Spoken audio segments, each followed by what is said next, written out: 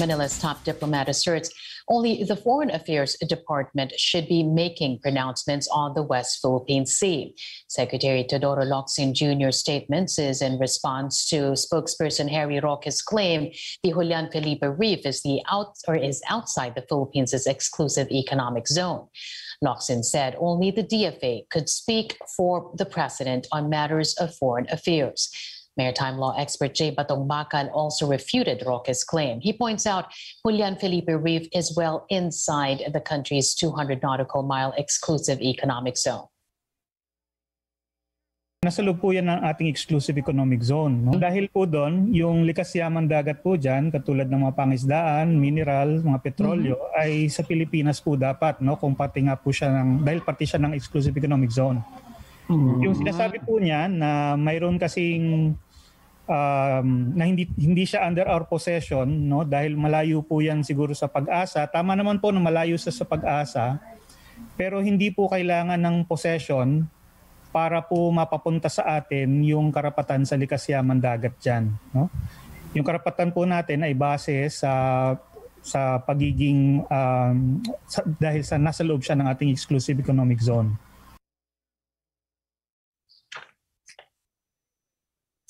Uh, the fishermen to whom President Duterte made a campaign promise to confront China's maritime incursions dismayed it was only a joke.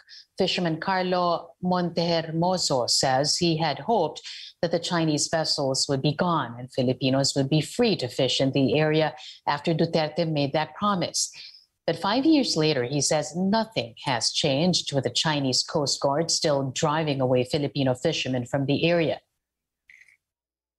Alam namin sir, kaming mangingisda lahat dito, matutulungan kami sa yung sinabi ko sa kanya eh. Oh. Yun, yun lang pala, joke lang pala yung sinasabi niyang yun. Eh, kami nung mangingisda dito, masama, masamang loob namin. Siyempre, yun ang sinabi niya, naasahan namin yun na gagawin niya. But sinabi niya yung joke-joke lang. Ba, din sir, joke-joke lang din siya naging presidente natin. Montehermoso now says Filipinos should be more discerning in choosing candidates in the 2022 elections.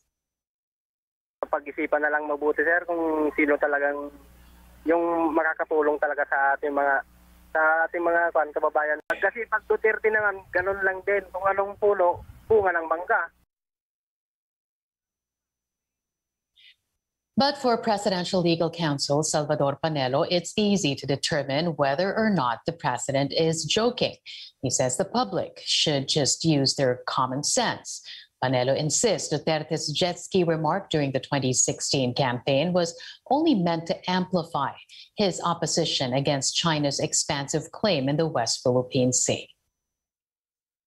He said that to dramatize the fact that he will not allow China to assault the sovereignty of this country. I think that was clear enough.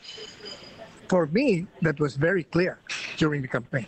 You will know when the president is joking by using one's common sense. Panelo also believes Duterte was not referring to majority of Filipinos when he said they were stupid for believing his campaign remark. He says that insult was only aimed at the president's critics.